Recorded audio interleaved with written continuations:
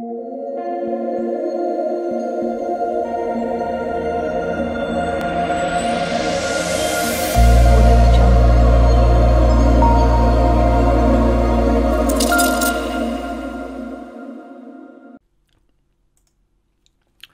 ora everybody, my name is Richard McGregor and I'm here to give you a tutorial on how to put and to connect and disconnect your accounts from your stream elements to just one. Now you might have had the odd, um, unfortunately it's connected, it's already linked and that can be an issue. You don't know how to unlink it.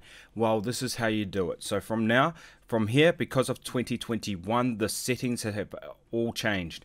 The whole thing has changed. So you want to go across to here, then you go across and click on this once, then you'll notice that you'll have channel settings down the bottom.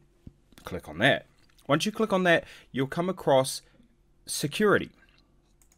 Once you see security, you'll click on that. Don't reset your access tokens, but it's a good thing to reset them. So after this, when this video is complete, I will reset my tokens so that you cannot have access to my accounts. Also, this is how you do it. So when you go close account, you want to go, would you like to close your account? You go, yes. Soon as you've done that, you put the username of the account that you're closing, the email from where that account belongs, plus your JWT token, and can you tell us a few words about why you wish to close your account. You can write anything you like. You just type, I don't use it anymore. Not using, um, don't want to use it. Um, whatever you like to put, you put in there. Then once you've done that, you just click close account. Once you've done that, these account will still be here. They will still look like they're in here. So what you want to do after that is log straight out. To the account that you want to put them all to, make sure that when you log into that account that then you can start using this and start connecting accounts okay so let's let's say we want to start connecting accounts. So you got to go to settings. Of course, that's how you go back. So you go here, in there, accounts and settings. So add your YouTube channel, add your Twitch channel, add your Facebook channel.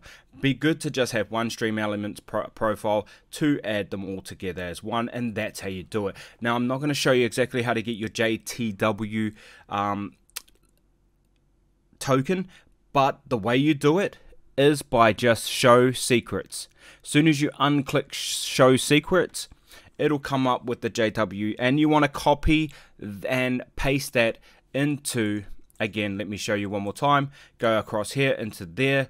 Go channel settings right here. And you're already in here. See we're already in channel settings. But then you go to security and then you go close my account. Yes. And then you put your JWT token in here. You paste it right there. Everything else is a piece of cake.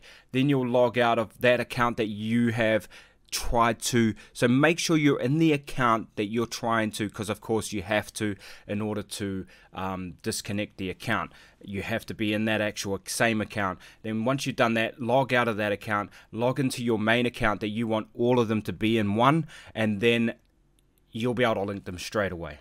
And that's how you do it guys. And thank you for watching my my YouTube tutorial on how to disconnect and connect your stream elements profile Facebook YouTube and Twitch account to one main platform. Thank you